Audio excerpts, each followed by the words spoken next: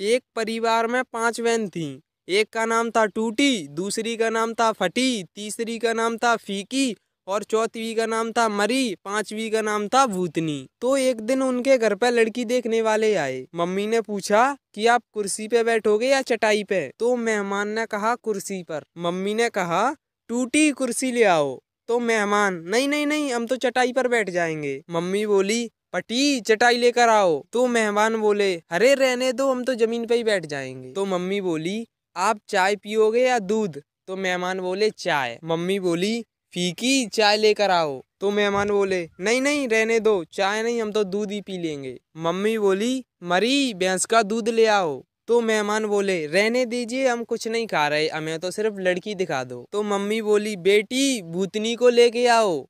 मेहमान बेहोश।